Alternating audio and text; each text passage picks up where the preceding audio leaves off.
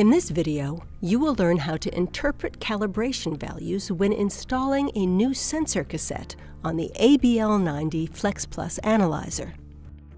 After you've installed a new sensor cassette on the ABL90 Flex Plus, the analyzer will perform an automated startup that includes various calibrations.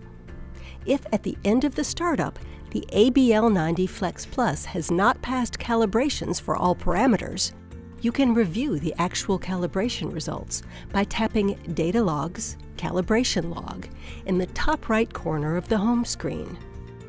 Choose the most recent calibration result and look for any parameters that failed calibration. Take note of the sensitivity of the failed parameter. Go back to the calibration log and open a previous calibration result and take note of the sensitivity of the failed parameter on that result.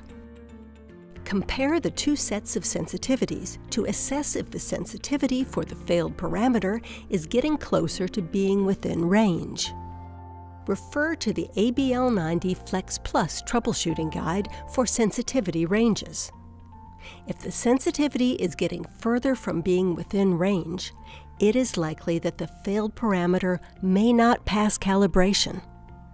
In this scenario, you will want to take troubleshooting action, such as flushing the analyzer or replacing the sensor cassette.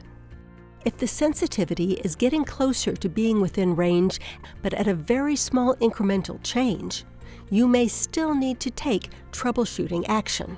If the sensitivity is getting closer to being within range at a significant incremental change, for example, the sensitivity is improving by multiple percentages with each additional calibration, then there is a strong likelihood that the failed parameter will eventually reach a passing calibration status.